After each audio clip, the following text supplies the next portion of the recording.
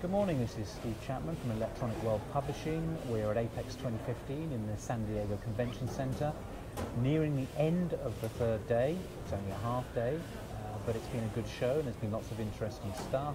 We're going to be talking materials a little bit now. I'd like to welcome Jason Fullerton to the stand. Jason from Alpha, thank you. Thank you for taking Welcome. Thanks time. for having my time. And you're a session chair. Yes. Your first yes. chair. First year I've done chairing a Uh, session. Yeah, congratulations, good Thank work you. on that. That's a nice accolade. I wanted to point that out because I think that's important. Thank you. But before we get into some of the details of uh, what you do with your day job, uh, let's talk about a perspective on the industry from your uh, side of things. What are you seeing out there? Well, so my background is a process engineer, and I work with our customers to help improve and troubleshoot their processes or help them develop new processes for new products. Um, one of the biggest things we're seeing in the industry right now is the increasing miniaturization of components. Uh, you know, both of my sessions were on materials-based problems. Uh, one of them was on head and pillow and BGAs, Yep. which is becoming a bigger and bigger problem as the interconnects get smaller and smaller. Uh, and so one of the things we see is companies that are using current technology products and are developing future products that have much smaller parts on them may need to evolve into new materials and solder paste or may need to optimize their processes better with the materials they have because of the narrower process window some of the smaller components provide for in their, their printing and reflow processes. Yeah, that is good. Some of the stuff that you're doing out there with your customers, and, you know, you've got a feedback path to feed that back to the materials development guys. Certainly. Because you're at the front end, sharp end, trying to solve real life issues. Yes. Which is a fair way of putting it, isn't it? Yes. Because there's productivity at stake, there's reputations at stake. So, you know, you, you're involved in this feedback. How does that work? Well, Alpha prides itself on our quality of our R&D and our science behind our products, as well as the skills of the people out in the field. So one of the roles I take with the company and our entire technical support group takes is to work with our customers to solve problems and then feed that back to our R&D groups to ensure that they're developing products to solve those solutions down the road. Um, I happen to be located relatively close to our America's Research Center, so I'm there regularly. Uh, so I have a lot of hallway conversations with different scientists and different product managers, um, as well as the formal path we have to, to uh, report out on the different tasks we take. And those managers get those reports and see the problems we're solving and use those as ways to develop and guide the new materials that we're putting out on the market today. That's pretty. So you, you get to become a nuisance at the water cooler then. And to some Yeah. degree, yes. Yeah, that's nice. Right. No, that's good. Yeah, that's, that's very productive. I mean, other things that you're coming up against out there, you know, you talked about perhaps some very specific stuff for miniaturization, you know, but what, what else are you coming across? Well, another thing we see is that as um, electronics get smaller and they get more precise and they get more powerful, uh, so they challenge some of the limits of the no clean solder materials and their electrical reliability. Uh, in the old days, we worried about dendrites and what I called hard failures.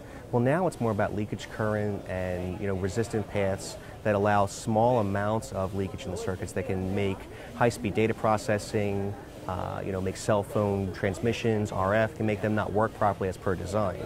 And so that's part of what we're trying to do with our products is evolve them to a state where they still solder as well as the old products, but they provide a better level of electrical performance on these new, more challenging assemblies that are out there. Okay, I mean, is this an issue with residues for, uh, let's say, typical no clean products, or is it is it, is it a different is it a different science that's at play? Because obviously it's to do with proximity. The closer these things are together, the, you know, the more likely there is for something to be interact.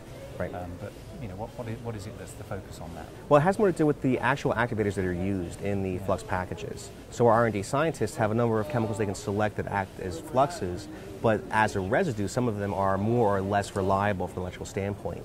Uh, and so the challenge is to develop materials that don't lose anything in soldering performance, but also provide a better level of electrical reliability and performance on the boards. You, you've got a very broad range of products at your disposal, you know, that, that you manufacture at Alpha. How do you decide which one's right? Is it just a question of the knowledge that you've got when, because when you're at the sharp, cold face with customers? That's exactly it. To some degree, it's my knowledge of our products, but it's also asking the customer, finding from them what they really need out of a product. Because every customer needs something different.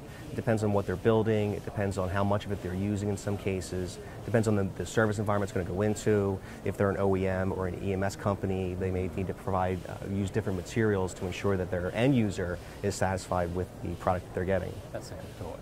Is there ever reluctance for the, for the for customers to switch materials based on, I don't know, some kind of insistence from the end user client if they're a contract manufacturer, or, or you've got to be consistent this side of the pond and the other side of the pond, and rather than, you know, do, do, you come across that at all? Well, there's always a resistance to change in manufacturing because you have a qualified, dedicated, controlled process. When you change materials, that's a brand new process. You have to requalify. Uh, and you have to watch out for any unintended consequences that come from material changes. So that's one part of my role is to make sure the customer understands the pros and cons of any changes that they're, they're attempting to make or are proposing to make, ensure that they know how to use the materials properly, and ensure they're aware of any downsides to use of these materials and be aware of those during the development of the new products. So all that and all the technical knowledge. So apart from that, it sounds like quite an easy job. Oh, it's a piece of cake. Yeah. Anybody could do Yeah. it. Based on years of accumulated knowledge. Right. I mean, I've been in the industry 20 years, and you need that level of experience to really be able to, to, to hash out with the customers what they're really looking for. Because sometimes they don't know what they want. You have to kind of walk them through the process and ensure they understand all of the things they need out of, a- out of a Well, material. And that's interesting. It's not only that they know what they want. I think a lot of it is not knowing what's available. I like to call it the art of what's possible. Correct. You know, you probably have some solutions that you could deliver that they didn't even know existed. Right. Uh, which is which is why they returned to you. I'm Right. sure We had an instance a couple months ago where I was on a trip with one of our sales managers, and we went and stopped by a client that happened to be local to where we were for lunch. And they described a problem they had that the sales manager locally had been trying to work with them on. And I came in and said, No, wait, you guys are doing it all wrong. You're using the wrong material for this application. Instead of trying to optimize use of this material, test a different material, and this problem will go away. Uh, they, they were very skeptical at first, of course, but we sent them a sample. They tried the material. I got a phone call three weeks later saying, You were a lifesaver. Thank goodness you came by because that's exactly what we needed it now. We use this new material. We have zero problems at all on this new product we're developing. So that was a good day. That was a very was good a day. You have good days and bad days in this job, and that was a great day. Well, talking about good days or good days, how was the show for you? Oh, the show was great. Uh, you know, this is the biggest show in the U.S. for electronics. It's always the premier show.